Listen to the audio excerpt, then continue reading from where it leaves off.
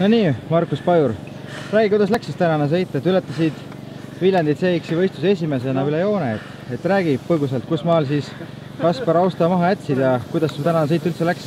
alguses üldse vedas, et ma nii hea stardikoha sain loosiga. siis oli start ära, sõitsime koos. siis oli mingi ring, kus äh, jooksukal ma natuke libisesin ja jäin maha Kasparist.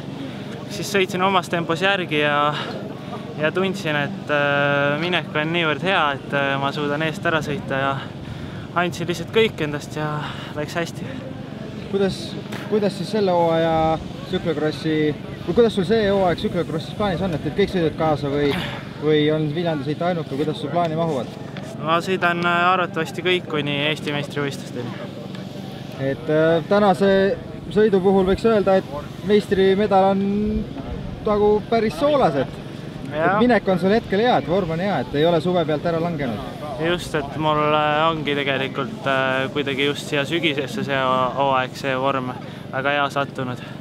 et äh, kindlasti siis teen tsüklokrossis, ma arvan, häid sõite. väga hea, kuule aga palju õnne ja jõudu-jaksu sulle! tänud!